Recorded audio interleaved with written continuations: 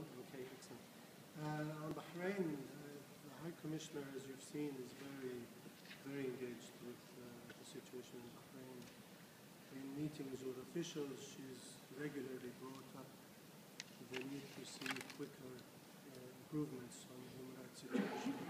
And particularly, she's raised the cases of uh, people who have been stripped of their nationality, people who are in, in detention, political prisoners, but also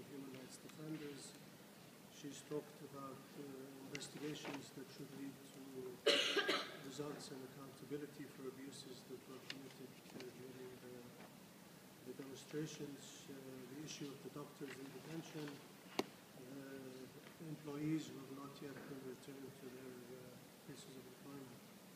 But essentially, we want to engage with Bahrain, and the mission that went was looking at ways to do that. And it focused on a number of areas, including the UPR process. Um, in discussions with the authorities, we've been saying we can come and help you on a number of these issues. Uh, the special rapporteur on torture, I think it's not been approved, will be coming to Bahrain.